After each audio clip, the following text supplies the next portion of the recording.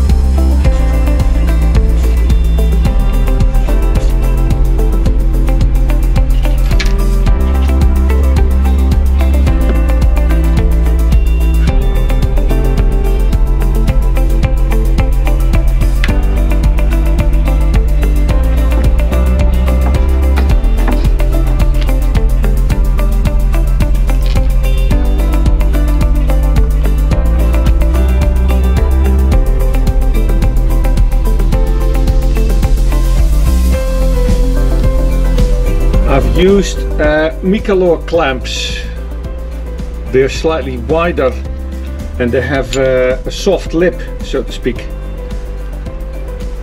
So they don't damage the um, rubber.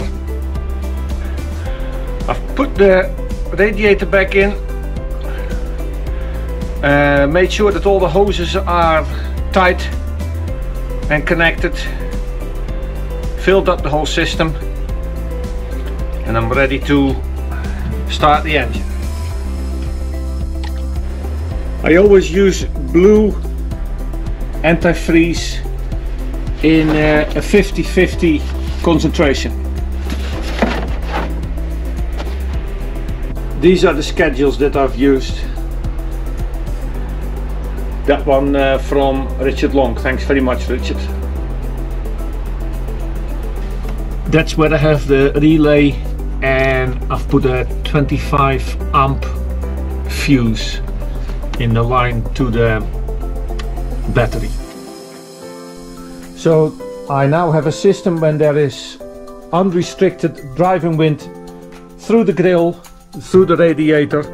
There's a lot more room here and my thermal switch makes sure that the ventilator switches on at 90 degrees and off at 80 degrees uh, and I have a, a, manual override switch which I still have to uh, fit on the dash which switches which overrides the fan that is working well